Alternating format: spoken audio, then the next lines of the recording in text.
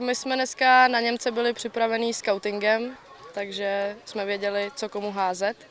Eh, očekávali jsme taky krátkou hru, kterou je Němec právě známý, eh, která se nám dařila zahrát. Zahráli jsme z toho hodně autů, i jsme z toho zvládli zahrát double, což bylo super.